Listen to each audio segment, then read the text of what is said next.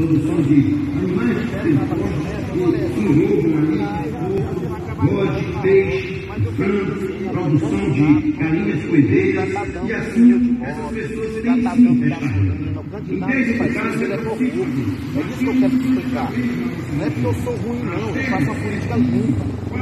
É essa política. Eu estou conscientizando as pessoas para que não façam esse erro de achar que o político bom é aquele que chega, dá um de uma moto, dá uma gasolina. Esses são os políticos corruptos. Ele te dá hoje, mas ele tira da saúde, da educação.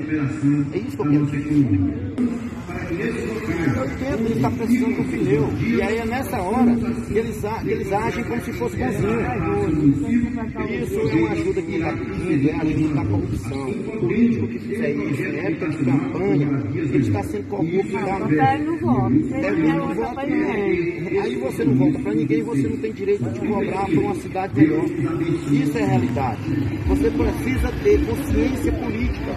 E o político bom não é aquele que fica dando pneu agora. É o que tem compromisso de melhorar a cidade.